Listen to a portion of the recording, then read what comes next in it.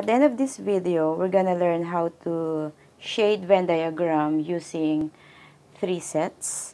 No? So we're gonna solve problems like this and this. So medyo mahirap na yung mga ganitong problems, no? But tuturo ko sa inyo paano. Okay, so but before that, let us first um, review, no? And you should also uh, you should first know what are the basics. So that would be the union of the two sets. So meaning kapag union, we shade everything, no?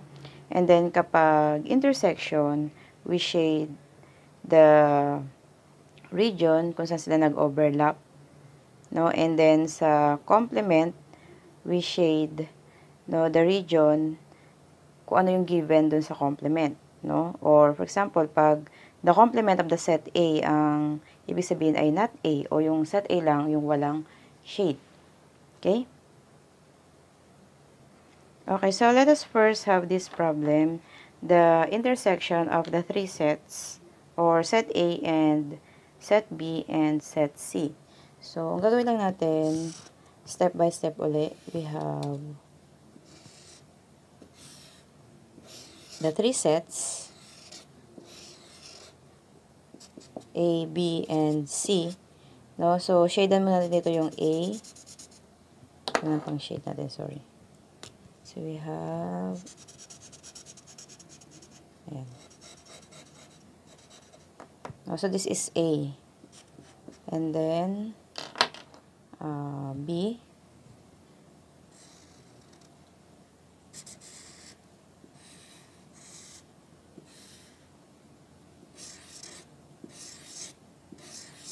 So, set A, B, and C. So, this time B naman yung may shade.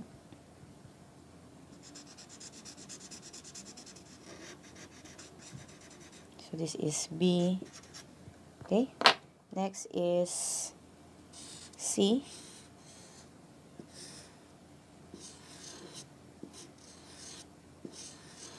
So, we have A, B, and C. So, this time, yung may shade ay C.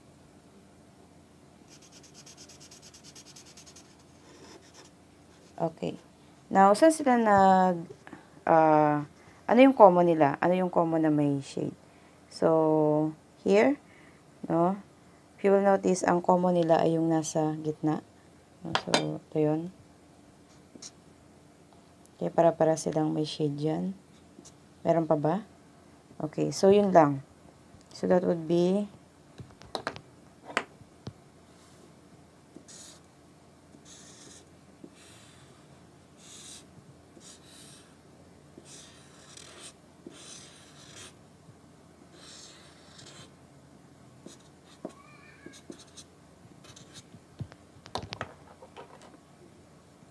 Okay, so meaning dito lang yung may shade. So this would be your final answer. A intersection B intersection C. Uh, so that would be your final answer. Next problem. No, A or B and C. So A union B no and intersection C. Okay, so unahin natin yung A union B. Okay. So we have three sets again. A, B, and C. So, ang may shade ay yung union ng A at B. Okay, so this is A union B. Next, intersection C. So we have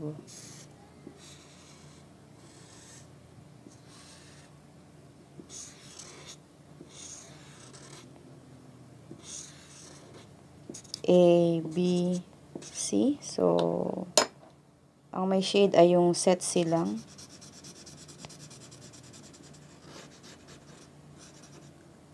No? So, this is C. Okay. Yan. So, anong kukunin natin dito? Yung kung sa sila nag ah, kung saan yung common nila or parehas na may shade since intersection na yung kukunin natin. Okay? So, saan yung may common nila? Okay, dito sa gitna. No? Ano pa? Yes, here. And then dito. Okay? Yun yung may mga common na shade nila since intersection ng uh, given sa problem. So, draw na natin. Pinaka-final answer. We have... Okay. So, ang may shade natin ay dito.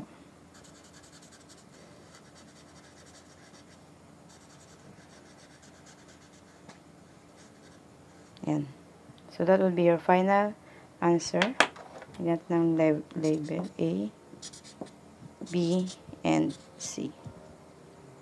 Okay, so this is A union B intersection C. Next, not A or the complement of A intersection of uh, B intersection C. Okay? So, unahin natin yung not A or complement of A.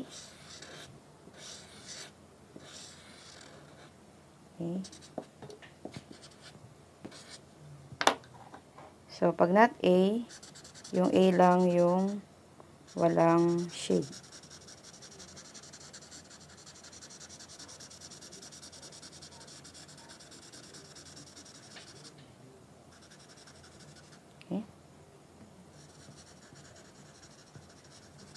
Okay, next. So, this is not A.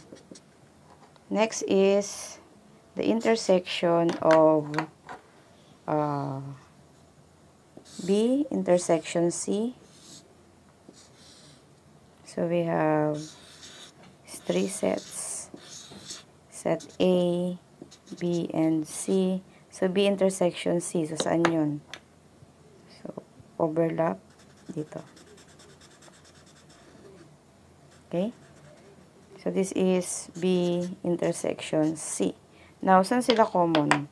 No, since intersection yung nasa problem, no? Ano yung common, uh, ano yung common na may shade? Yes, dito. Next is, ayan, para sa dito. Meron pa ba? Okay, so wala na. So, that would be your answer. Lagyan natin, drawing natin yung final answer.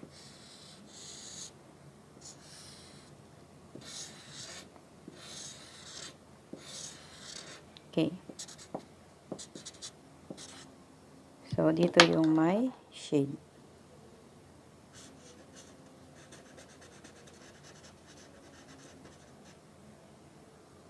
So, this is uh, complement of A intersection B intersection C. So, that will be your final answer. Okay, last problem tayo. So we have uh, the intersection of the three sets or and then complement yung nasa labas. Kunin muna natin yung, sorry, kunin muna natin yung intersection ng three sets. So alam natin na ang intersection ng three sets na ito ay dito. No? So this is A intersection B intersection C, right? Okay, now, kunin natin yung complement nila to uh, to have the final answer. So, we have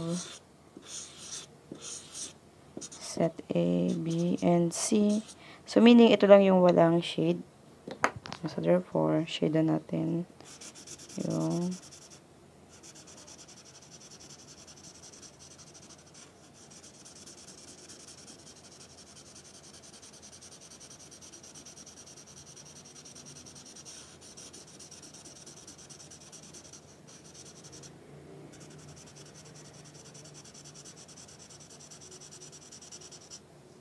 Okay, so that will be your final answer. No? So this is the intersection of the three sets, then complement.